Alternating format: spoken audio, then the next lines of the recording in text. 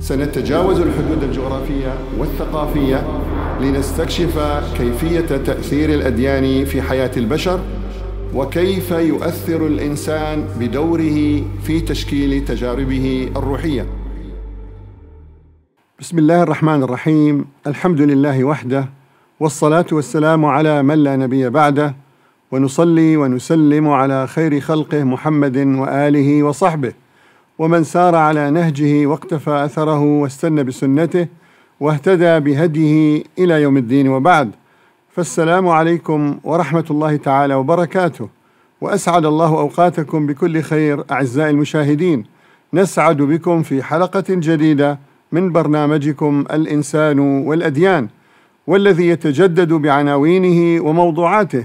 وفي هذه الحلقة سنتناول موضوعا مهما عن المسجد الأقصى والهيكل اليهودي. فسنتناول في هذه الحلقة الحديث عن تاريخ بناء المسجد الأقصى ومكانته في الفكر الديني الإسلامي وعلاقته بإبراهيم عليه السلام وبنيه من بعده ورسالته الحنيفية. وسنركز حديثنا على تصور الهيكل في الفكر الديني اليهودي والتوراتي وأهم أسباب اهتمام الفكر الديني اليهودي به وهل ما تحدثت عنه التوراة في وصف الهيكل ينطبق على الواقع التاريخي؟ وهل فعلا أن البناء الذي بناه سليمان عليه السلام كان هو الهيكل اليهودي بعينه أم كان بناء آخر؟ كل هذا سنناقشه مع الدكتور علاء هيلات. دكتور علاء اليوم موضوعنا طبعا جديد موضوع عن الهيكل وعن المسجد الأقصى. وهذا موضوع يعني أساسي ومحوري أنا أقول يعني في كل حلقات برنامج يعني الإنسان والأديان. نعم لو أحببنا أن نتعرف دكتور على متى تم بناء المسجد الأقصى ومن أول من بناه؟ نعم بسم الله الرحمن الرحيم والصلاة والسلام على أشرف الخلق والمرسلين سيدنا محمد صلى الله عليه وسلم وعلى آله وصحبه الطيبين الطاهرين أجمعين. أما بعد حياكم الله يا دكتور محمد في هذه الحلقة. آه بالنسبة للمسجد الأقصى والهيكل اليهودي آه كما تفضلت هذه قضية مهمة جدا والحديث عنها مهم جدا. ولا بد أن ننطلق من مقدمات أساسية حتى نحيط في هذا الموضوع وحتى ندرك حقيقة النتائج التي سنصل إليها في نهاية هذه الحلقة. جميل. في البحث في هذا الموضوع أولا بالنسبة لسؤالك. المسجد الأقصى المسجد الأقصى بني في عهد أبناء آدم عليه السلام. وهو ثاني مسجد وضع لله عز وجل في الأرض. وهناك حديث في صحيح البخاري يقول طبعا هذا الحديث منسوب لأبي ذر الغفاري يقول فيه أبو ذر سأل النبي صلى الله عليه وسلم الله عليه وقال له قلت يا رسول الله أي مسجد وضع في الأرض أول؟ قال المسجد الحرام. قال قلت ثم أي؟ قال المسجد الأقصى. قلت كم كان بينهما؟ قال أربعون سنة. ثم أينما أدركتك الصلاة بعد فصله فإن الفضل فيه. جميل. هذا الحديث يا دكتور يدل على أن بناء المسجد الأقصى قديم جدا.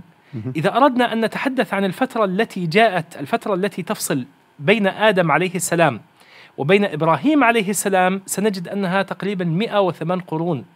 108 قرون. وثمانية قرون. نعم. وهذا من خلال حساب أعمار الآباء الذين ذكرتهم التوراة وذكرهم سفر التكوين الذين كانوا ما بين آدم عليه السلام إلى مجيء إبراهيم عليه السلام. فالفترة بين آدم وإبراهيم عليه السلام فترة طويلة جدا. في هذه الفترة كان المسجد الأقصى مبني. طبعا سبب بناء المسجد الأقصى أن الأرض كما تقول الروايات التاريخية ويتحدث المؤرخون العرب حول هذا الموضوع أن الأرض ضاقت في شبه الجزيرة العربية على أبناء آدم عليه السلام. فهاجر جزء كبير منهم إلى بلاد الشام إلى مصاب الأنهار فأوصاهم والدهم آدم عليه السلام أن يبنوا مسجدا هناك يصلون فيه ويعبدون فيه الله سبحانه وتعالى. فبنوا المسجد الأقصى. هناك خلاف أن أول من بناه أبناء آدم أو أن أول من بنته الملائكة. ولكن على جميع التقديرات فإن بناء المسجد الأقصى كان سابق لعهد إبراهيم عليه السلام بفترة طويلة. طيب دكتور نعلم بأن إبراهيم عليه السلام يعني هاجر من أور الكلدانية إلى يعني إلى أرض كنعان. هل لهذه الهجرة علاقة بالمسجد الأقصى؟ نعم كل العلاقة يا دكتور. لأنه إذا قارنا بين مقاصد هجرة إبراهيم عليه السلام من أور الكلداني الكلدانيين في أرض العراق إلى أرض كنعان وأرض مكة سنجد أن المقصد الأساسي أو من المقصد الأساسي لهجرة إبراهيم عليه السلام هو الدعوة إلى الله. التوحيد. والدعوة إلى التوحيد وتأكيد وجود الحنيفية الإبراهيمية في منطقة بلاد الشام وما حولها ومنطقة مكة وشبه الجزيرة العربية. ولكن أيضا هناك مقصد آخر. يعني إذا أردنا أن نسأل سؤال يا دكتور. لماذا لم تستمر دعوة إبراهيم عليه السلام في أرض العراق؟ ولكنها استمرت ونجحت في أرض في أرض بلاد الشام. وأرض مكة. صحيح. أنا بحثت هذا الموضوع فوجدت أن هناك سببين يا دكتور. السبب الأول السبب الأول أن الله سبحانه وتعالى اقتضت حكمته أن ينقل دعوة إبراهيم عليه السلام من أرض العراق إلى المنطقة التي كان فيها المسجدين. المسجد الأقصى وكما ذكرنا قبل قليل المسجد الأقصى كان موجود قبل إبراهيم عليه السلام. نعم. المسجد الأقصى والمسجد الحرام. جميل. والمسجد الأقصى في منطقة فلسطين قدر الله على إبراهيم عليه السلام أن يكون بالقرب منه زوج لإبراهيم عليه السلام زوجة وابن نعم. وهي سارة وإسحاق نعم. وأن يكون لإبراهيم عليه السلام بالقرب من المسجد الحرام في أرض مكة زوجة وابن وهي هاجر وإسماعيل. وسيدنا إسماعيل ويتنقل إبراهيم عليه السلام بينهما جميل. إلا أن القرآن الكريم صرح صراحة آه، صرح بطريق مباشر آه، ببناء المسجد الحرام ولكنه لم يصرح ببناء المسجد الأقصى لأسباب أعتقد والله أعلم أن المسجد الأقصى لم يعد بناءه في أو بنائه بعد إبراهيم آه، في عهد إبراهيم عليه السلام وإنما بعد إبراهيم عليه السلام. طبعا المقصد من نقل دعوة إبراهيم من أرض العراق إلى إلى إلى الأرض المباركة التي ما بين أرض بلاد شام وشبه الجزيرة العربية هو أن يخرج من نسل إبراهيم عليه السلام من يجدد بناء المسجدين. هذا الأمر الأول. أيضا هناك مقصد آخر لهجرة إبراهيم عليه السلام و, و حقيقة يعني آه، نجاحها واتساعها في منطقة بلاد الشام وشبه الجزيرة العربية أن ديانة أهل العراق كانت تسمى بالديانة السبعية فكانوا يعبدون سبعة كواكب في السماء ويمثلوها بعدة أصناف في الأرض بينما الكنعانيون وعشائرهم وعشائر شرق الأردن من الأدوميين والمؤابيين والعمونيين والآراميين في سوريا والفينيقيين في لبنان والقيذاريين في شمال شبه الجزيرة العربية كانوا يؤمنون بالإله الأعظم الإله إيل الذي هو الله إله السماء. ولكنهم كانوا يشركون به آلهة أخرى. فلما جاءهم إبراهيم عليه السلام دعاهم لم يد لم يدعوهم لإثبات وجود الله لأنهم كانوا يثبتون وجود الله. لكنه دعاهم لتوحيد الله.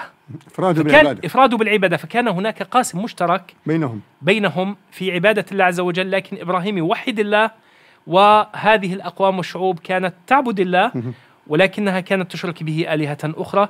فكان الهدف من هجرة إبراهيم عليه السلام آه، هدف ومقصد متصل بوجود وبناء هذين المسجدين. طيب دكتور هل نستطيع أن نقول بأن هناك نصوص طيب في التوراة كانت تتكلم عن المسجد الأقصى في عهد إبراهيم عليه السلام نعم. وبني إسحاق ويعقوب عليهما السلام؟ نعم وهذه قضية مهمة جدا. هناك نصوص في التوراة تثبت وجود المسجد الأقصى أثناء أو قبل وجود إبراهيم عليه السلام وفي أثناء وجود حياة إبراهيم عليه السلام وإسحاق ويعقوب عليهم السلام. أول نص يا دكتور هو النص الذي يتحدث في الإصحاح الرابع عشر من سفر التكوين والذي يتحدث عن ملكي صادق أو ملخي صادق أو أو صادوق الذي كان زعيم لعشائر الكنعانيين من اليبوسيين والحثيين والفريزيين والحويين والجرجانيين. في قبل مجيء إبراهيم عليه السلام في القرن العشرين قبل ميلاد سيدنا المسيح عليه السلام. هذا رجل هذا رجل تخيل معي أن التوراة تصف في الإصحاح الرابع عشر بأنه استقبل سيدنا إبراهيم عليه السلام وأعطاه جنوب أرض فلسطين يرعى مواشيه وأغنامه وتصف التوراة في الإصحاح الرابع عشر بأنه كان كاهنا لله العلي. طيب كان كاهنا لله العلي أين؟ وبارك وهذا الرجل بارك إبراهيم هو الذي بارك إبراهيم وقال هذا نص في سفر التكوين يقول مبارك أبرام هذا الاسم الأول له نعم. لأنه الاسم الأول أبرام, أبرام. يعني الاب رفيع لكن بعد ذلك تحول اسمه إلى أبراهام الاب رفيع أو العالي لجميع الأمم. أبراهام طيب باركه وقال مبارك أبرام من الله العلي مالك السماوات والأرض ومبارك الله العلي الذي أسلم أعداءه إليه لأن إبراهيم كان تعدت إحدى العشائر عليه فهزمها هو ورعاته الذين كانوا معه فجاء ملكي صادق وباركه واحتفى به وتصف التوراة بأنه كان كاهنا لله العلي. طب أين كان كاهنا لله العلي؟ طيب نأتي إلى نص بعد ذلك يتعلق بإبراهيم عليه السلام. هذا النص يا دكتور يصور إبراهيم عليه السلام عندما دخل إلى أرض كنعان ويقول وظهر رب لأبرام وقال له سأعطي هذه الأرض ذريتك. فبنى أبرام هناك مذبح لرب الذي ظهر له وانتقل هناك إلى الجبل شرقي بيت إيل. بيت إيل. إيل. حيث نصب خيامه ما بين بيت إيل غربا وعاي شرقا وشيد هناك مذبح لرب ودعا باسمه يعني صلى لله ودعا باسمه. ثم تابع أبرام ارتحاله نحو الجنوب.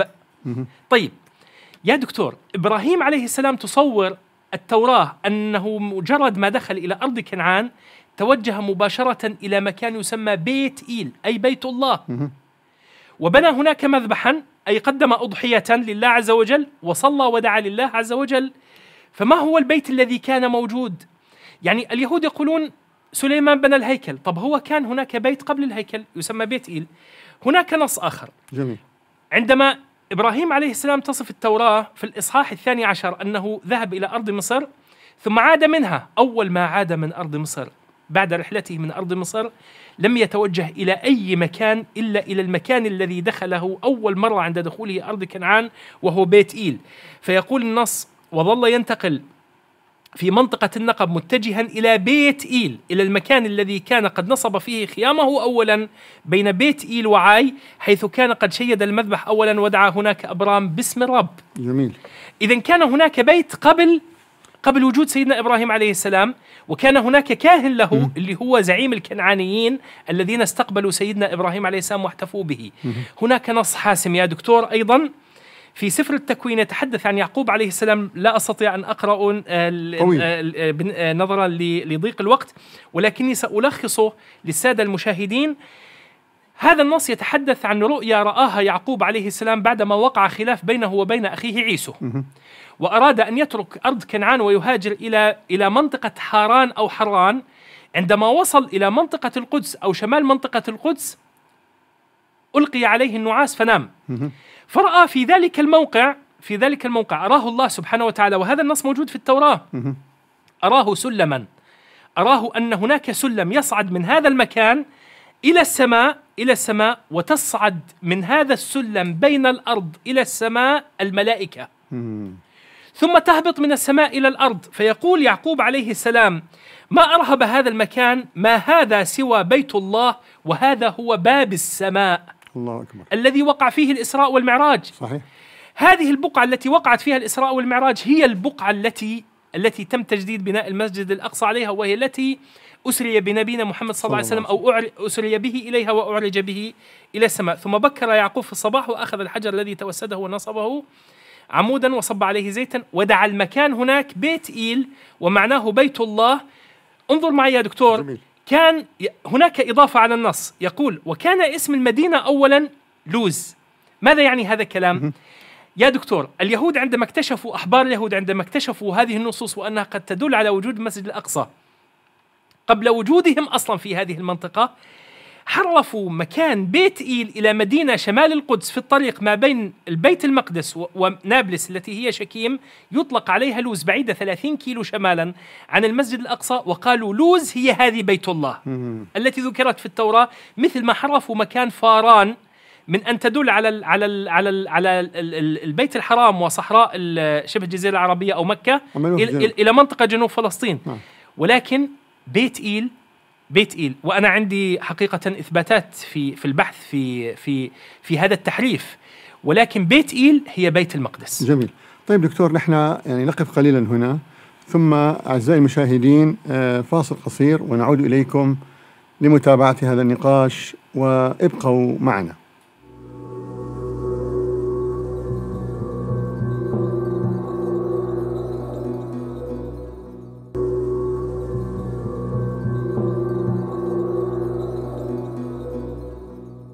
أعزائي المشاهدين عدنا إليكم لاستئناف ما تبقى من حلقتنا.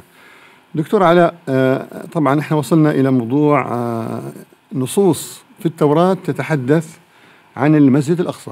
بيت إيل بيت الله. هو المسجد الأقصى بالنهاية. بيت, نعم. بيت إيل هو بيت, بيت الله بيت الله نعم. نعم بيت الله. طيب دكتور هل هل البيت الذي بناه سليمان عليه السلام والذي ينسب له الهيكل هو المسجد الأقصى أم الهيكل اليهودي؟ نعم. آه، دكتور يجمع عدد كبير جدا من المؤرخين العرب وغيرهم والمسلمين وغيرهم أن البناء الذي بناه سليمان عليه السلام والذي ذكر في التوراة لم يكن هو الهيكل وإنما كان تجديد لبناء المسجد الأقصى. لأن المسجد الأقصى المسجد الأقصى قبل مجيء سيدنا إبراهيم عليه السلام كان موجود. ولكن بعد وجود بني إسرائيل 400 سنة تقريبا أربعة قرون في أرض مصر حدثت تغيرات دينية كبيرة لدى الكنعانيين فتركت عبادة الله فيه. فعندما جاء بنو إسرائيل أرادوا أن يجددوا بناء المسجد الأقصى فلم يجدد هذا البناء أو يعاد بناؤه مرة أخرى وتقام فيه عبادة الله عز وجل إلا في عهد داود ثم سليمان عليه السلام. الذي بنى الم... الذي جدد بناء المسجد الأقصى هو سليمان عليه السلام. أعطيك أدلة على ذلك. هناك أحد المؤرخين يقول أن ومن أعماله عن سليمان عليه السلام تجديد بناء المسجد الأقصى حيث شيده يعقوب حيث شيده يعقوب أو أبوه إسحاق بعد بناء الكعبة بأربعين عاما. حتى هناك من يقول بأنه صحيح أنه لم يذكر في القرآن الكريم لكن إسحاق عليه السلام كان إسماعيل مع والده إبراهيم عليه السلام. جدد بناء الكعبة المشرفة وإسحاق عليه السلام جدد بناء المسجد الأقصى. ولكن ليس بالطريقة التي تم تجديد البناء فيه على عهد سليمان فكان بناء يليق بمملكة سليمان. يجمع على هذا الأمر أحمد معمور العسيري صاحب الأنس الجليل بتاريخ القدس والجليل مجير الدين الحنبلي. آه، أيضا جمال الدين آه، الجوزي في تاريخ بيت المقدس يجمع على هذه القضية. هناك حديث عن النبي صلى الله عليه وسلم رواه الإمام النسائي والإمام ابن ماجه وغيرهما بالسند إلى عبد الله بن عمر بن عمرو بن العاص رضي الله عنهما عن النبي صلى الله عليه وسلم يقول لما فرغ هذا حديث عن النبي صلى الله عليه وسلم لما فرغ سليمان بن داود من بناء بيت المقدس. لما فرغ سليمان بن داود من بناء بيت المقدس, من بناء بيت المقدس سأل الله ثلاثا. حكما يصادف حكمه. وملكا لا ينبغي لأحد من بعده وألا يأتي هذا المسجد أحد لا يريد إلا الصلاة فيه إلا خرج من ذنوبه كيوم ولدته أمه فقال النبي صلى الله عليه وسلم أما اثنتان فقد أعطيهما وأرجو أن يكون قد أعطي الثالثة. الله أكبر. فهذا هذه المصادر نص تدل نص على أن البناء الذي بناه سليمان عليه السلام هو, هو المسجد الأقصى. ما الذي حدث يا دكتور؟ سليمان عليه السلام جدد بناء المسجد الأقصى. بعد أن توفي سليمان عليه السلام في القرن التاسع قبل الميلاد سنة 946 قبل الميلاد اختلف بنو إسرائيل وانقسموا إلى مملكتين كما ذكرنا في الحلقات السابقة نعم. وحدث بينهم احتراب شديد احتراب عقائدي احتراب في التوراة كتبوا توراتين. في الجنوب المملكة الجنوبية التوراة العبرانية وفي الشمال التوراة السامرية. ثم جاء السامريون أو جاءت قبائل بني إسرائيل بنوا معبد آخر غير الذي بن أو مسجد آخر غير الذي على جبل جلزيم في مدينة نابلس في في تل السامرة شكيم. فهنا أصبح لدينا توراتين وأصبح لدينا مسجدين أو معبدين وأصبح لدينا إلهين. أهل الشمال بقوا على عبادة الإله إيل وأهل الجنوب كفروا بالله سبحانه وتعالى وعبدوا الإله يهوفا الله. هنا حدثت ردة عند بني إسرائيل فجاء البابليون والآشوريين ثم البابليون وحاربوهم وهدموا المسجدين. أو هدموا المعبدين. ثم سبوهم إلى بابل. في بابل يا دكتور في بابل. لما نظر اليهود وهم قبيلة يهوذا وعزرة الذي كان يقود الحركة الكهنوتية عندهم لما نظروا إلى المعابد البابلية ونظروا إلى عظمتها ونظروا إلى طريقة تكوينها وصفوا في التوراة في التوراة المعبد لما أرادوا أن يؤرخوا لميراثهم الديني هذا هذا بعد سليمان عليه نعم. السلام. بعد سليمان تقريبا بمئة عام. بعد وفاة سليمان أكثر بعد وفاة سليمان ب 200 إلى 300 عام. بعد أن أرادوا أن يكتبوا تراثهم الديني ويعظموه ويمجدوه لأجيالهم وحتى يعيدوا المسبيين إلى أرض كنعان عظموا هذا البناء ووصفوه تماما كالمعابد البابلية وصفوا لباس الكهنة مثل كهنة مصر. عجيب. لأجل هذا حرفوا مكانة المسجد الأقصى وادعوا أن سليمان عليه السلام بنى شيء اسمه الهيكل وسليمان عليه السلام حقيقة لم يبني ولم يجدد إلا المسجد الأقصى. لا يوجد شيء اسمه الهيكل طيب دكتور كيف تم تغيير مكانة المسجد الأقصى في التاريخ والفكر الديني اليهودي وتم تحويله من مسجد إلى هيكل؟ نعم. دكتور تم هذا التغيير وهذا التحريف حقيقة كما ذكرنا في الأسر البابلي. وتم تضخيمه في الأسفار التي أضيفت إلى التوراة مثل سفر الملوك ال- الأول. بعد العودة من الأسر البابلي. وكما قلنا عندما نظر اليهود وتأثروا بالحضارة ال- البابلية ونظروا إلى المعابد التي فيها أرادوا أن يصفوا المبنى الذي بناه سليمان عليه السلام بنفس الطريقة. أما التوراة كيف وصفت كيف وصفت الهيكل؟ فقد وصفت الهيكل بأوصاف عظيمة جدا. فوصفت التوراة بأنه تم استخدام عدد يعني كمية كبيرة من الذهب والفضة في بناء هذا- في بناء هذا الهيكل لدرجة أن كاثرين كينون. الباحثة البريطانية الآثارية التي بحثت عن آثار الهيكل ولم تجد شيئا تقول أن وصف التوراة للهيكل وكمية الذهب والفضة التي استخدمت في وصف التوراة في بناء هذا الهيكل لا تستطيع كل شعوب المنطقة مجتمعة أن تجمع ثلثها الله أكبر فمن أين جاءت؟ هذا هذه كانت عبارة عن تضخيم عبارة عن أسطورة توراتية لتضخيم ما بناه سليمان عليه السلام بل الأكثر من ذلك هناك عدد كثير من الأدلة تدل على أن على أن ال- ال- ال- المملكة سليمان أصلا مملكة سليمان لم تتجاوز منطقة بس منطقة بسيطة في داخل أرض كنعان. فكيف يبنى هذا البناء العظيم؟ آه، فالتوراة بالغت في قضيتهم بالغت في وصف مملكة سليمان وقالت أنها كانت تمتد من أرض العراق من من نهر الفرات إلى نهر النيل. وأن سليمان آه، تزوج ابنة فرعون مصر. وتزوج ملكة سبأ. وضخمت طب أين الآثار التي تدل على هذه المملكة؟ غير موجودة الآثار اليونانية موجودة الآثار الرومانية موجودة فأين آثار مملكة سليمان التي كانت تمتد من من من النيل الفرات ملك سليمان نفسه كان عظيما. فسليمان سخر الله له الإنس والجن وسخر له الريح نعم. وسخر له بعض المظاهر الطبيعة وجعله يسمع منطق الطير ويعرف منطق الطير ومنطق حتى حتى النمل. النملة عندما تكلمت سمعها سليمان. فكانت القوة في ملك سليمان في في القدرة الملكية في وليس. في اتساع المملكة. في تسخير الطبيعة والبيئة. نعم. طيب جميل دكتور يعني نريد أن نعرف هل علماء الآثار اليوم ونقاد آه، يعني آه، كتاب العهد القديم ماذا قالوا عن الهيكل؟ يعني أكبر إشكالية تواجه مسألة مسألة الهيكل وبناء الهيكل في في في قضية إثبات وجود هذا الهيكل. وهل هو واقعي أو تاريخ واقعي أو ليس واقعي؟ قضية الآثار والتاريخ. يا دكتور أعطيك أمثلة كثيرة جدا. طبعا لو أردنا أن أن نحصي ونتحدث عن العلماء التاريخ والآثاريين الذين الذين نقبوا في المنطقة ومنهم إسرائيليين مهم. ولم يجدوا أي آثار لهذا الهيكل الذي وصف في التوراة مهم. هذا الأمر يحتاج إلى فترة زمنية طويلة أو يحتاج إلى حلقة خاصة مهم. لكني سأخذ بعض النماذج تحدثنا قبل قليل عن الآثارية البريطانية كاثرين كونون. سبع سنوات من 1961 إلى 1967 أو 68 وهي تنقب في منطقة القدس هي وفريق عمل بريطاني من إحدى الجامعات البريطانية بحثا عن الهيكل اليهودي ولم تجد حجرا يدل على ذلك أو نقشا. يدل على الهيكل الذي وصف في التوراة. إسرائيل فلينكشتاين هذا عالم الآثار كتب كتاب مؤرخ إسرائيلي وعالم آثار كتب كتاب اسمه التوراة اليهودية مكشوفة على حقيقتها. يقول في هذا الكتاب أنه لا يوجد أثر اطلاقا يدل على وجود هذا الهيكل. توماس تيميسون صاحب كتاب ورسالة الدكتوراه أسفار العهد القديم في التاريخ واختلاق الماضي التي رفضتها جامعة توبنجن وحرمته من الحصول على الدكتوراه لأنه نفى كثير من الحقائق التاريخية التي يعتقد اليهود أنها حقائق ومنها الهيكل وقال بأن الهيكل لا وجود له اطلاقا كيت وايتلم المؤرخ الاثاري الإسكتلندي أيضا الذي كتب كتاب اختلاق إسرائيل القديمة وإسكات التاريخ الفلسطيني أيضا يتفق معهم في نفس الاتجاه. دعني أتحدث عن مائير بن دوف.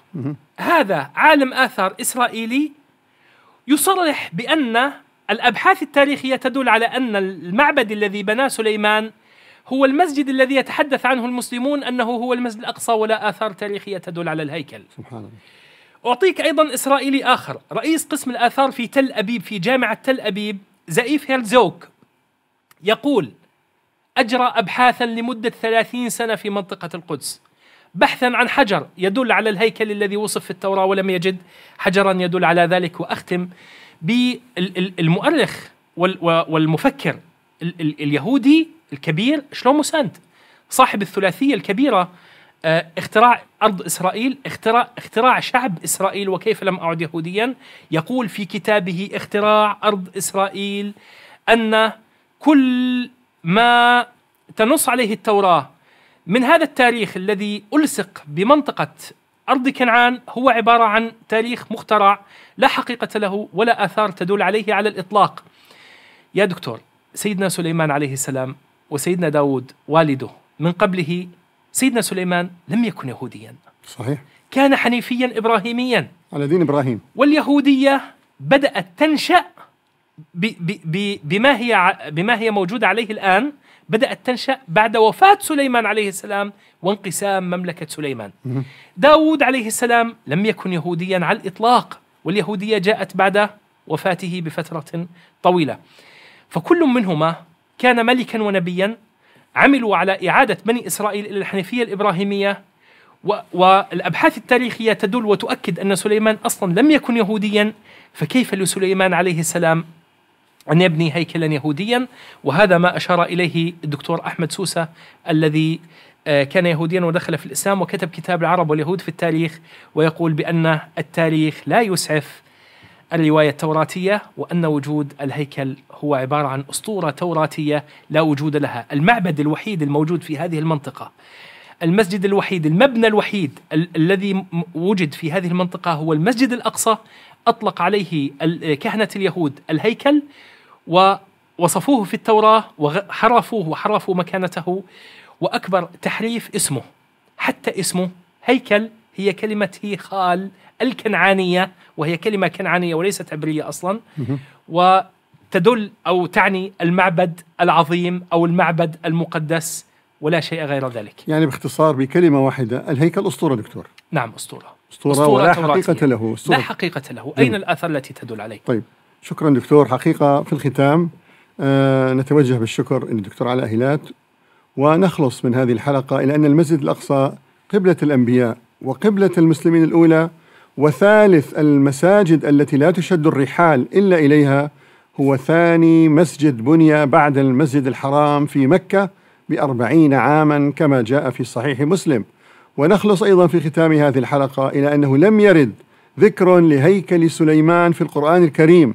وإنما أشار القرآن الكريم إلى قصر سليمان عليه السلام المصنوع من القوارير وهو آية في الإعجاز والجمال حتى إن ملكة سبأ أسلمت لله رب العالمين بعد مشاهدتها لهذا الإنجاز المعجز. قال تعالى قيل لها ادخل الصرح. فلما رأته حسبته لجة وكشفت عن ساقيها. قال إنه صرح ممرد من قوارير. قالت رب إني ظلمت نفسي وأسلمت مع سليمان لله رب العالمين. هناك تناقض واضح في روايات الأسفار التي تحدثت عن الهيكل وعن تحديد مكان بيت الله مما يؤكد أن قضية الهيكل من أولها إلى آخرها لا يمكن تصديقها لأن ما ورد عنها في الأسفار من التناقضات والاختلافات لا يمكن أن يكون وحيا سماويا صادقا فإن الوحي لا يتناقض وهناك خلاف كبير بين علماء اليهود وحاخاماتهم في تحديد مكان الهيكل بالإضافة إلى أن علماء الأركيولوجي لم يتركوا حجرا منذ احتلال القدس في عام 1967 إلا وحفروا تحته للبحث عن دليل على الهيكل المزعوم. وهذا دليل دامغ على أن هيكل سليمان أكذوبة وأسطورة يهودية. وبذلك نكون مشاهدينا الكرام وصلنا إلى نهاية الحلقة. نأمل أن تكون قد نالت رضاكم وإلى أن نسعد بكم في حلقات قادمة إن شاء الله. حتى ذلكم الحين نترككم في حفظ الله ورعايته. شكرا لكم على حسن المشاهدة.